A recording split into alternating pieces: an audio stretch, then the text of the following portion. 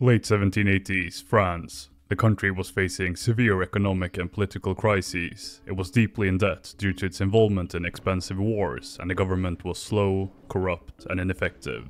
The situation worsened, bad harvests leading to widespread famine, making the people of France angrier and angrier.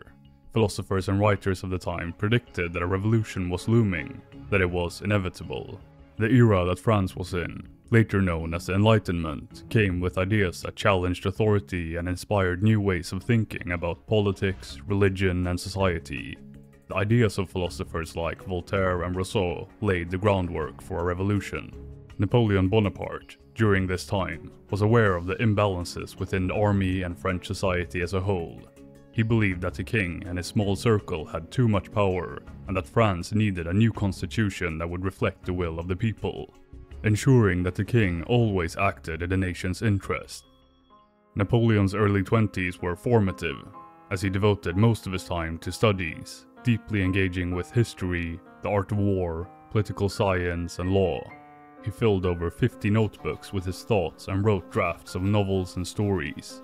His reading list was extensive, covering topics from artillery, projectiles and war tactics to history, particularly that of Corsica. Classical and philosophical works, including those of Rousseau, Plutarch and Cicero were among those who influenced his thought the most. During the French Revolution, Napoleon decided to return to Corsica. Why? Well, he was motivated by his belief that the revolution could help improve poor conditions on the island. He hoped to be involved in the revolutionary events in Corsica seeing it as a chance for the island. At the time, Napoleon aligned himself more and more with radical ideologies in Paris and was instrumental in founding the first radical political club on Corsica, the Jacobin Club.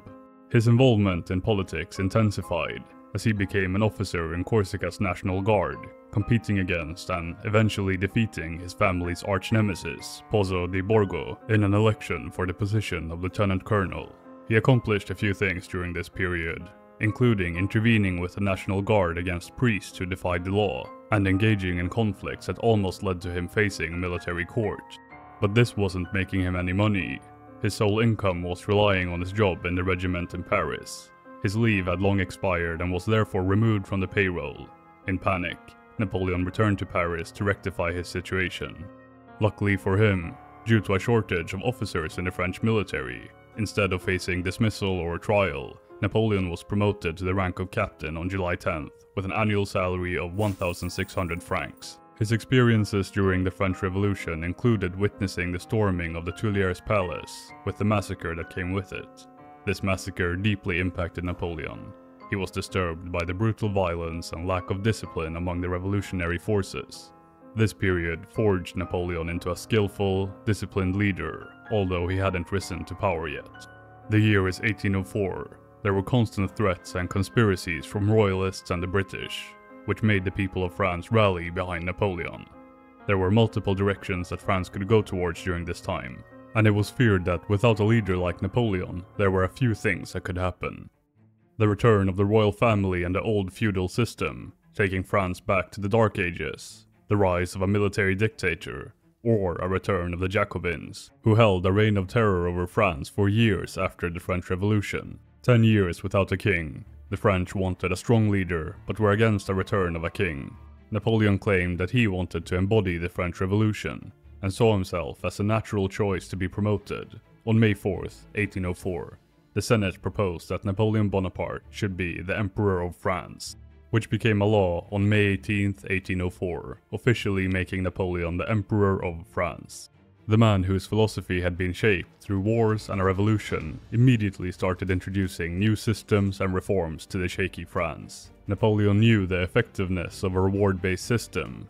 He believed in rewarding individuals based on their achievements, not on their family name or social status. This approach, called meritocracy, opened up positions, especially in the military, to all capable men, regardless of their class or wealth and five years into his rule, Napoleon even created his own nobility, assigning titles like Prince, Duke, Count, Baron and Knight, mostly to military figures based on their merit.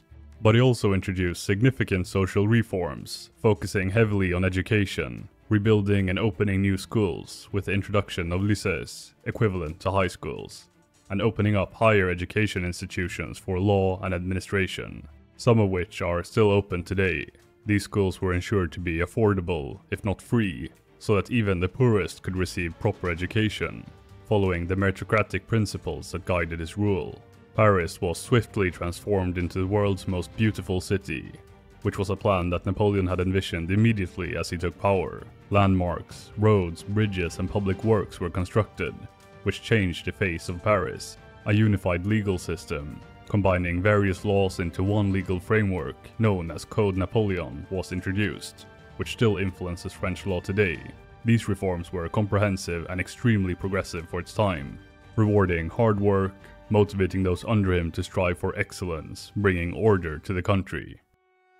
By the spring of 1811, Napoleon was at the peak of his influence, ruling over an empire extending from the Atlantic to Belarus and from the Baltic Sea to the Ionian Sea, comparable in size to the Western Roman Empire or Charlemagne's realm. This empire, with over 70 million inhabitants, included seven vassal kings and numerous dukes and princes. What was behind this massive success? Well, the philosophy that is now known as Bonapartism, this is what held the empire together, a strong centralized state, which was in Paris, a leader with significant dictator-like power, and the promotion of nationalism and military achievement. I mentioned that Napoleon had dictator-like power. Well, he was effectively a dictator, ruling in an autocratic way. There was an inconsistency between his philosophy and his actions, but this could be attributed to the rapid growth and increasing diversity of the empire. It needed a strong leader. But this growth and diversity, which at first could be seen as a sign of strength, turned into the beginning of the end for the French Empire. Napoleon himself might not have fully realized that the decline had already started. Unity and control was hard to maintain, whilst Napoleon was growing older, physically changed, looking pale and unwell. His physical shape was a symbol of how the empire itself was looking. He knew that changes had to be made, expressing a desire for public debates, free elections, accountable ministers, and press freedom. These aspirations led to the drafting of a new liberal constitution by Benjamin Constant. A new legislature was established, expanding the voter base and making it 10 times larger than during the reign of Louis XVIII, where only a few thousand wealthy individuals had the right to vote. The meeting of the parliaments were also made public, and political proposals were made to be debated. A jury was also introduced to the legal system, similar to that in Great Britain. Napoleon recognized that there was a need for a more liberal and participatory governance structure. These changes were his effort to stabilize the empire in a hope to change the downward trajectory. With an ever-growing hunger for expansion and tension between Napoleon and Alexander of Russia, an invasion was planned. Despite receiving numerous reports, including a detailed analysis from the well-informed French ambassador in St. Petersburg, Armand de Caulaincourt, which outlined all the arguments against an invasion, Napoleon remained unyielding. Caulaincourt warned of the geographical, climatic, political, military, diplomatic, and logistical nightmare that such an invasion would bring with it. However, both Napoleon and Alexander of Russia were unmovable in their positions. Russia demanded significant portions of the Grand Duchy of Warsaw and the withdrawal of French troops from Prussia, which Napoleon refused. This unyielding attitude was what once made the French Empire so great, but now set the stage for Napoleon's greatest failure. The prompt Russian campaign was a catastrophic failure for Napoleon, making several critical mistakes. The war was initiated before concluding another war with Spain. It was started too late, and the invasion itself had extremely poor planning, with distances between supply depots being far too long. The French army lingered in cities like Vilna, Vitebsk, and especially Moscow, leading to a slow disaster. After this, a wave of nationalism swept across the French-controlled territories. The Rhine Confederation was dissolved. Uprisings broke out in Holland, and Wellington was advancing towards France from the Pyrenees. The old aristocratic families of Europe, deposed kings, and the Pope rejoiced at Napoleon's failures. Despite still having a large, functional army, and with Napoleon being a brilliant military leader, the political landscape had shifted against him. Alexander of Russia ordered a march into Paris, which left Napoleon isolated in the countryside. This one strategic move effectively ended his rule.